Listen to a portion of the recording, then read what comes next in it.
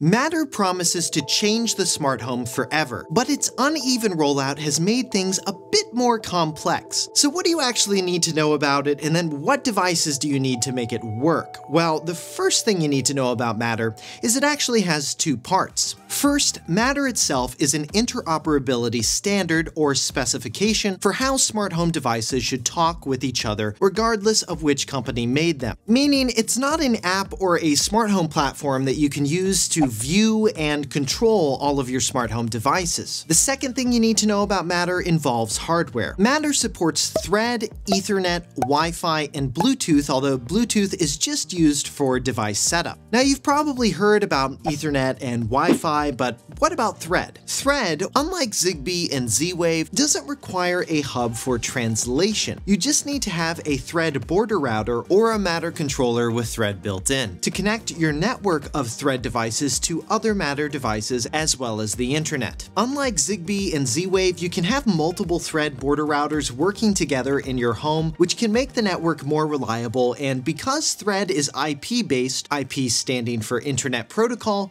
Thread devices can directly communicate with Wi-Fi and Ethernet devices, which ends up making Thread very fast with low latency. It also supports up to 250 devices on the network and supports low power. So bringing all of this back to Matter, because Matter devices can either use Thread, Ethernet, or Wi-Fi, that allows for Matter devices to have things like local control, low latency, low power if they're thread-based, and have a self-healing network, meaning if you accidentally unplug one of your devices, it's not going to bring down the whole network. There are three things you need for a Matter-supported smart home. You'll need a Matter controller, a Thread border router, and a Matter-supported smart home platform app. The good news is, there's a good chance chance that you have all three of these devices in your home already. A Matter controller helps you set up new smart home devices, controls any Matter device in your smart home network, runs automations, and facilitates remote access. Matter controllers can currently be found in several devices including all HomePods, HomePod Minis, Apple TV 4Ks, Amazon Echo speakers and displays, Google Nest speakers and displays, Samsung SmartThings hubs, Home Assistant software, and the new Homey Pro. Now, in order to set up new smart home devices and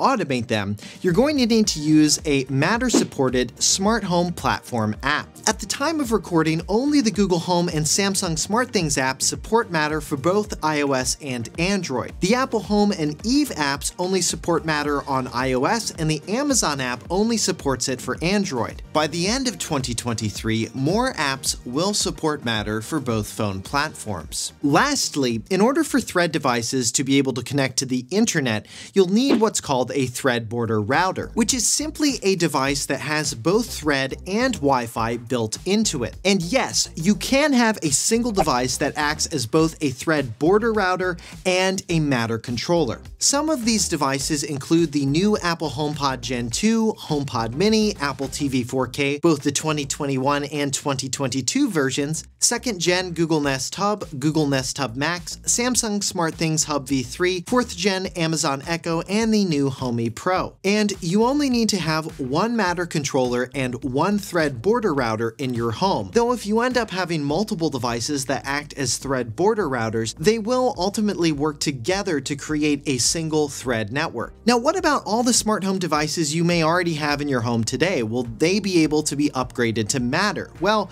some of these devices might be able to be upgraded to Matter if they have either Thread or Wi-Fi built in. Even some Zigbee hubs will get Matter support like the Philips Hue and Aqara hubs via an over-the-air software update. But here's the tricky and slightly confusing part.